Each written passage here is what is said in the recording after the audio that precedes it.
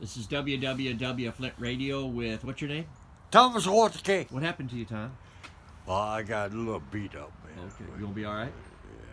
Yeah, uh, everything's taken care of. You're gonna- We're all friends again. And we're going to uh, see Diane today, aren't we? I'm gonna call her right now, and you stay here. You're gonna have a big reward. Okay. All right.